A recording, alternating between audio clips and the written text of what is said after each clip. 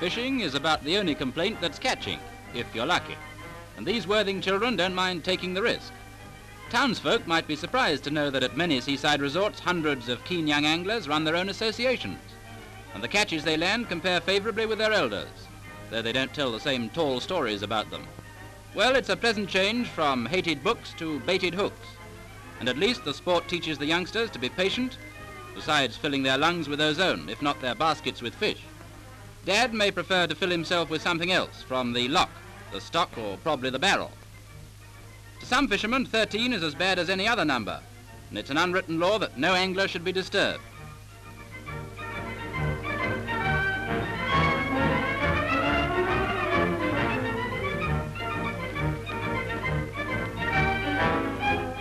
But it's one thing to drop a line and quite another to get a reply.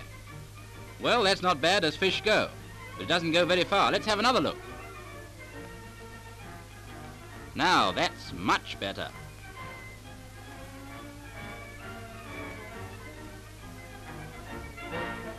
What's this? A young sole? No, an old heel.